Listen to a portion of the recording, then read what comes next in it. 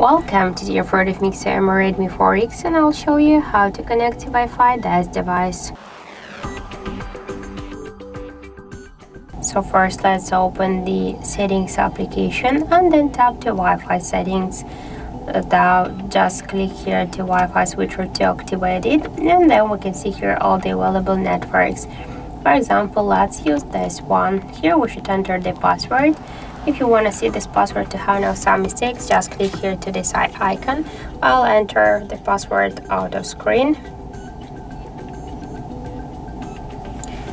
After that, I'll just click here to connect. Wait a second, and now we can see that our device successfully connected to this network. By the same way, we can select here more networks, just by the same way connect to them.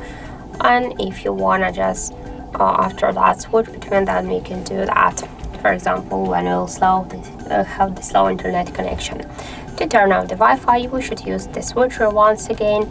Also we can make it by the second way, just first open notification panel shortcuts, click here the Wi-Fi icon to activate Wi-Fi, to turn it off we should use this icon also once again and to launch the Wi-Fi settings we should hold it for a while and now we can see here that all of the available networks.